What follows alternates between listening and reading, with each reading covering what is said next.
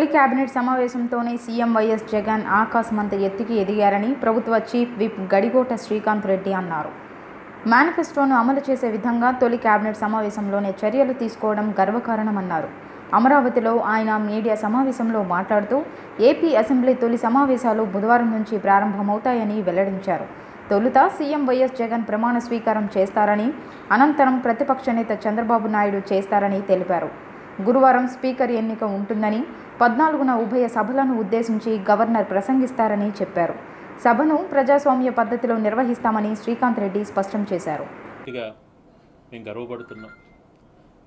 నిజంగా అవినీతి రహిత పాలన తీయాలి అవినీతి అన్నటువంటిది ఉండకూడదు. టోటల్ ఎరాడికేట్ చేయాలన్నటువంటి తన ఆలోచన.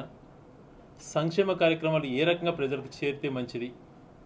రాజకీయాలకు అతీతంగా ప్రజలంతా కూడా సంతోషంగా ఉండే విధంగా ఏది చేస్తే బాగుంటుంది అని చెప్పినటువంటి తన ఆలోచన విధానం మేనిఫెస్టో పెట్టినట్టు వెంట వెంటనే అమలు చేసే విధంగా ముందుకు పోతుండడము మాకు నిజంగా చాలా ఒక శాసనసభలుగా మేమే కాదు ఆ రాష్ట్ర ప్రజలంతా కూడా చాలా సంతోషంగా ఉన్నారు.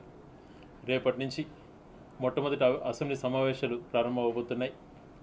గతంలో స్పీకర్ గారు ముఖ్యమంత్రి గారు తెలుగుదేశం ప్రభుత్వంలో వివరించినట్టు కాకుండా ఇప్పుడున్నటువంటి ముఖ్యమంత్రి కొత్త ప్రభుత్వంలో ప్రజాస్వామ్యంలో ప్రజాస్వామ్యాన్ని చూసి అందరూ సంతోషపడే విధంగా హౌస్ అంటే ఇలా ఉండాలి